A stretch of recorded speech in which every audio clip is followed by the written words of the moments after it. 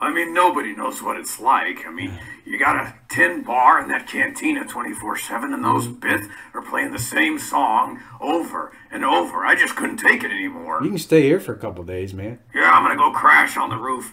By the way, that clone of Dooku uh, stole a couple cans of Blue Buffalo cat food, and uh, he's laughing about it. All right. Well, uh, thanks for telling me, Wuher. Uh, I'm gonna hang up now. Yeah, that was that bartender from Tatooine. I uh, guess he needs a vacation for a week or longer, so why not? I mean, my roof is not exactly packed yet. So, anywho, I'm going to be reviewing General Grievous from the Star Wars Revenge of the Sith sneak preview line. Here he is. This is the first Grievous I ever got in 2005. So, I can't stand him on a figure stand. This droid general will not cooperate. I, am sorry, I, I misspoke there. He's not really a droid. It's a cyborg general. So yeah, he's got a lightsaber, got his cape on. I'm gonna have to hold him by his feetsies here. Yeah, and we're gonna turn him around. And his cape is removable, so we can throw that aside there. See him without his cape. Of course, he's only got two arms. I have one lightsaber in his right arm there.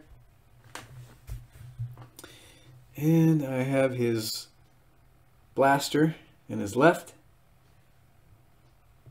And let me just set this Grievous aside because I might as well show the second Grievous that they produced from that Revenge of the Sith line in 2005. If I can grab him real quick here knocking any of his weapons out of his hands. Okay. So here's our General Grievous with his four arms. They're all split, and he is ready to tackle any Jedi or clone trooper he can find. He's got all of his lightsabers ready to go.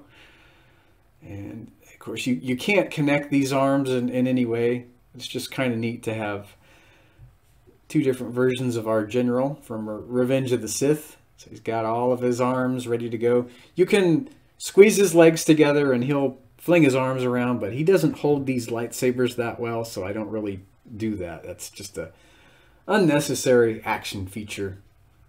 Uh, well, I guess if you're a kid, you probably enjoy that, but I have another version of him from Revenge of the Sith. He's quite a bit bulkier, and I think he's from the vintage collection. I'll see if I can find him. You can connect and disconnect his arms. They don't really stay connected that well, though. So, yep, there's uh, General Grievous with his lightsabers all going.